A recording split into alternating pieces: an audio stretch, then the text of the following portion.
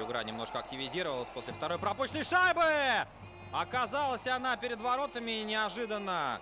Кто там, Воробьев или Хлынцев был? Да, Воробьев оказался перед воротами. Но так уже близко был перед Гелашвили, что не смог нанести бросок.